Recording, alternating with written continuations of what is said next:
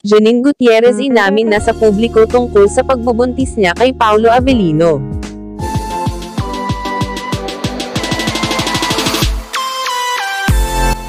Usap-usapan nga ngayon sa buong social media tungkol sa ipinost na larawan ni Janine Gutierrez kasama ang ka-love team nitong si Paulo Avellino.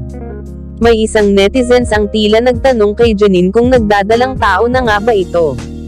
Kuha ang larawan noong nagdaang ABS-CBN Christmas Special 2022 na nangyari noong Sabado December 17. Merry Christmas caption ni Janine.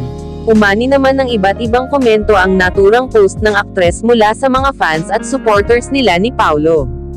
Sobrang bagay talaga kayo. Buti pa kayo simple lang hindi katulad ng iba napaka-OA, comment ng isang fan. Say naman ng isa, Merry talaga kami this Christmas dahil din sa inyo, Paulo and Janine, salamat sa sorpresa.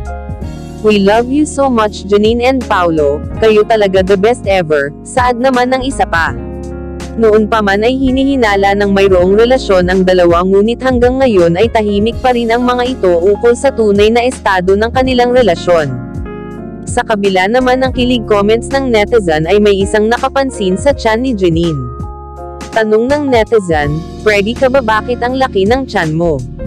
Malumanay naman ito sinagot ni Janine at sinabing, PMS bloat actually and I've been holiday eating since wala pang taping, it's okay to enjoy the off of season, diet na lang after Christmas. Dagdag pa niya, sana masarap din kain mo this December smile emoji. Agad namang nagsorry ang netizen kay Janine sa naitanong nito. I hope you don't get mad at me, I hope you don't mind my comment because I saw it in a post too. I thought you were pregnant. I'm really sorry Merry Christmas, hinging pa umanhin ng netizen.